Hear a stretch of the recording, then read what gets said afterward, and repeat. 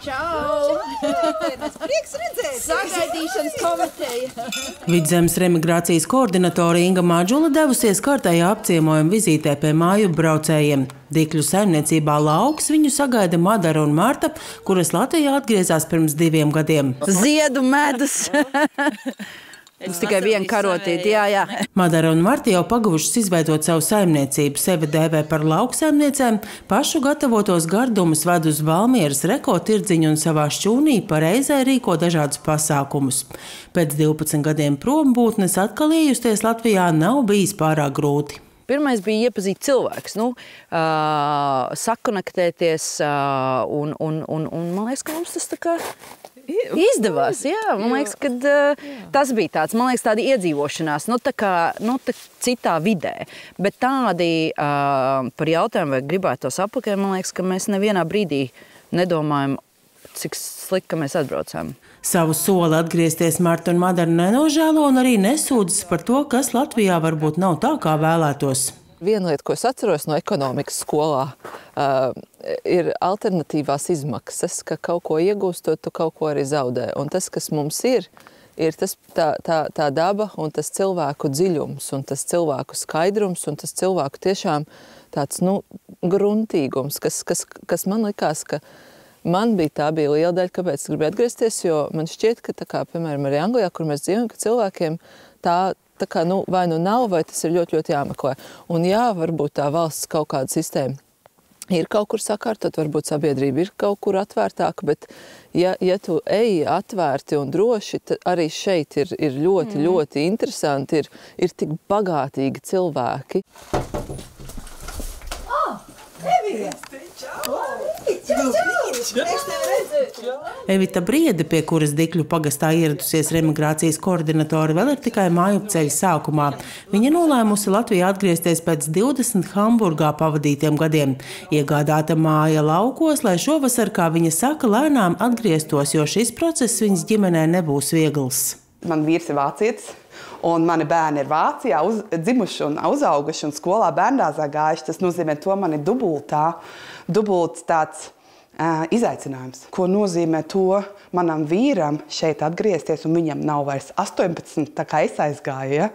Viņam jau ir pār 40. Vispirms vīram vajadzētu apgūt valodu. Pirms gada bija piedāvājums kursiem attālināti, taču tie nenotika.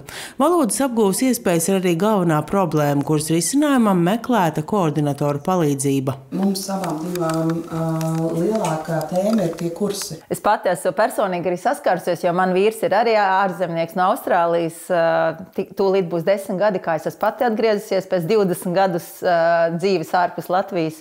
Tā kā es sevi ļoti labi saprotu. Jā.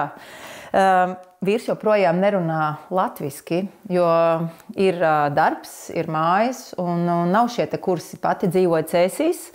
Arī Rīgā, galvaspilsētā, un šie kursi nav pieejami. Evitē vēl viens izaicinājums būs arī desmitgadīgās meitas skolas gaitas, jo vienu mēnesi jau viņa gāja vietējā skolā, un tas nebija viegli. Tā ir valoda vislielākā, un viņiem laiku dot, un nevis viņiem, viņiem piemēram, nu, arī attraktīvu palīdzību tajā jomā. Grūti viņai bija, jo viņai jau nav jau tie resursi vēl skolās, lai tādiem bērniem dotu iespēju blakus vēl valodas kursus un eh, viņiem privāti arī palīdzēt to. Un, un tas, tas ir visgrūtākais, man liekas. Evita vada skolu Vācijā un šobrīd var strādāt attālināti.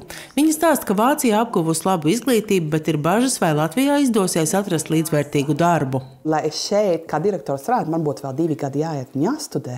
Un ar 44 gadiem to darīt, nu, es godīgi pasaku, es esmu izmācījusies ļoti labās skolās, es, man ir ļoti labi diplomi. Un es domāju, ja manu pieredzi um, neredz kā um, varbūt tās mazu jaunu, nu, es teikšu, ne izaicinājumu, bet kā jaunu pieredzes apmaiņu, būtu žēl.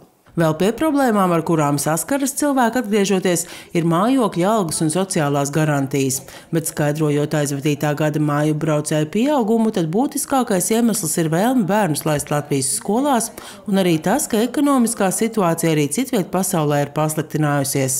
Cevišķi, jā, es esmu saskars ar cilvēkiem, kas dzīvo Anglijā un Īrijā kad uh, ir liela interese atgriezties, jo uh, vis, visa dzīve sadadz, sadārdzinās tur. Un līdz ar to jā, nu, sanāk, ka šeit Latvijā viņiem būtu ekonomiski izdevīgāk. Vēl šo pieaugumu Inga Maģula saista ar rūpīgāku māju braucēju uzskaitu pašvaldībās. Līdz ar to ir pieejamāki, precīzāki dati.